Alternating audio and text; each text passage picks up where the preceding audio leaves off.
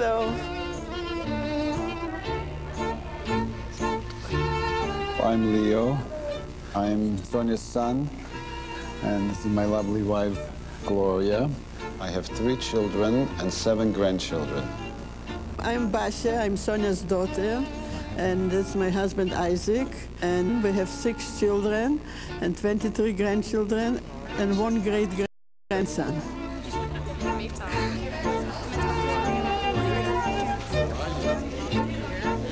Bubby, it's Jeremy. Hello.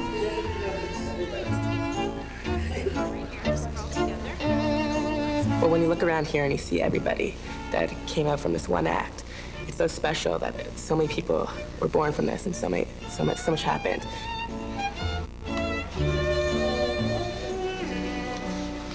We were little children. We grew up in Danilovich, the four of us and my mother's parents. We woke up very early a, a Saturday morning, and, and we knew that the, the ghetto was all around with police and SS, and, and we knew that, that that's the day they're going to liquidate the ghetto. So we went all to this uh, shelter. And I remember my grandparents said that they're not going to go. They're old anyway. They cannot run. So they're going to stay in the house, and whatever God will give, that's what it will be. And we went Ah. Okay. we went in, in that shelter and we were sitting there. I was thinking, my God, if I wouldn't be Jewish, if I would just be on the other side of the fence, I would be alive. And just because I'm on this side of the fence, I'm about to die soon.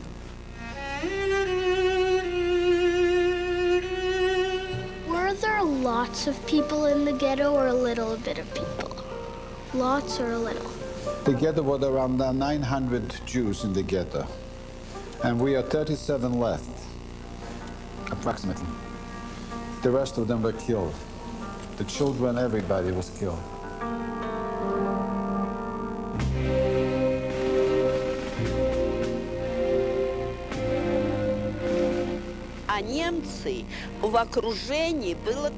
The Germans kept the ghetto surrounded for three days.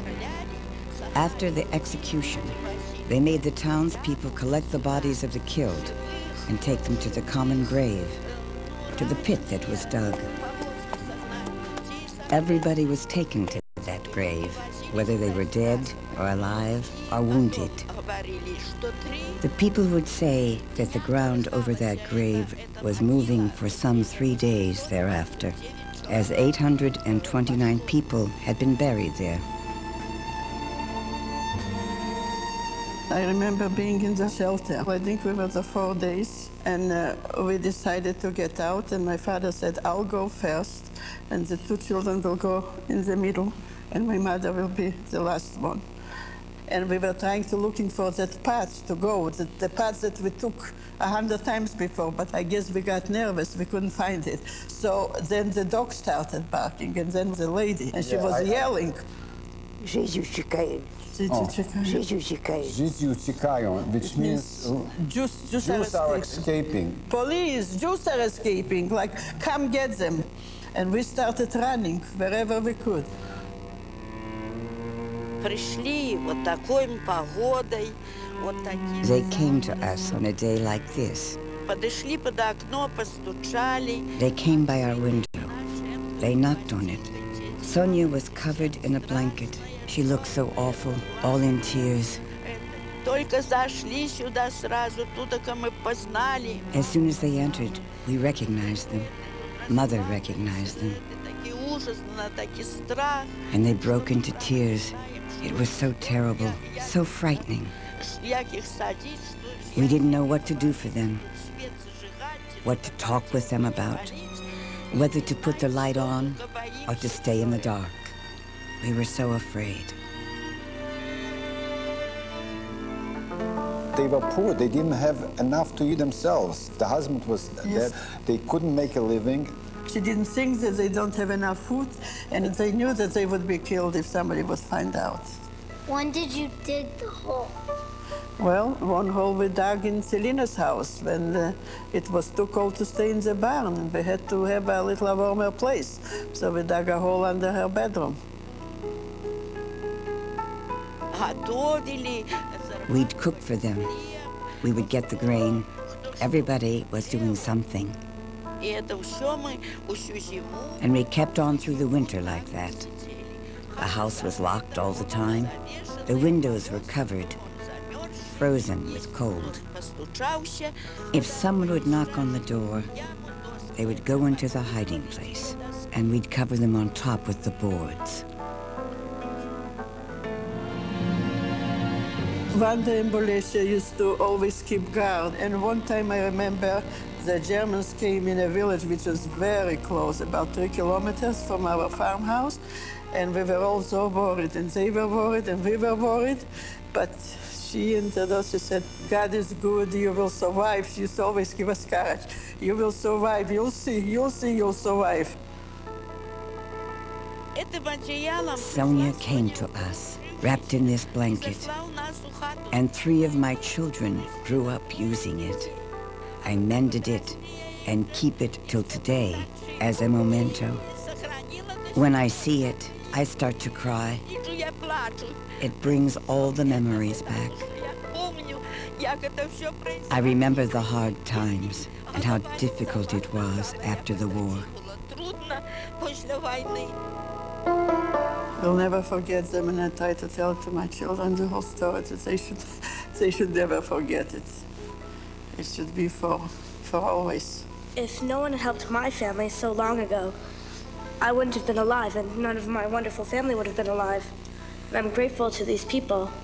So if if I could give anybody a chance to grow and get such a wonderful family, to have a chance at that, I'd do it in a second.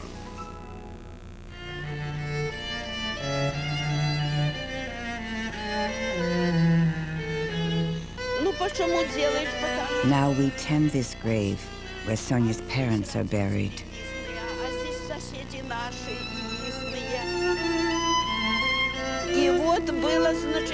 After the war, everyone left, and all was forgotten. The grave was covered with bushes, and my sister and I cleared away the growth, and we have been taking care of it ever since.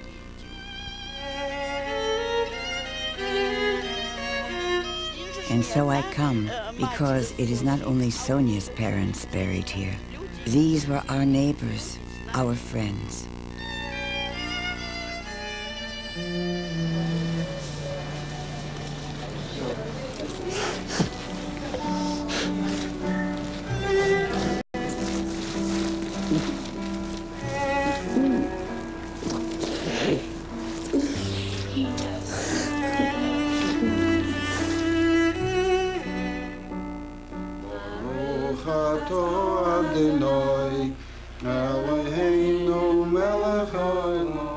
I want to thank the Jewish Foundation for the Righteous for recognizing the awesome act of kindness that um, people like Selena and um, her daughters have done for our family, and they risk their lives for others and for all of us here.